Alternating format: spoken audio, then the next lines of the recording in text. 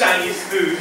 Hey, I heard that it snowed last night in Chinatown. Oh yeah? You like to ski the slopes? You're my kind of girl. Yeah. Yeah. Hey, you're new here. Are you Lionel Richie's adopted daughter, Nicole? I'm Tai Frasier. I'm from New York. Oh, cool. Welcome to Beverly Hills High. Oh, that's a sweet tattoo. Is that Japanese? Oh yeah, well, you know, it was supposed to say unstoppable, but this old Japanese woman told me that it says bukkake. I mean, I don't know what that means. Cool. 25 years and my life is still... Okay, wait, wait, guys, wait. You're 25? Oh yeah, uh, I've been a senior for like,